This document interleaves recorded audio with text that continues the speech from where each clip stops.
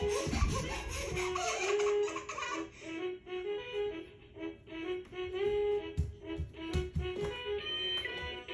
her favorite one. That's one that sends her over the edge.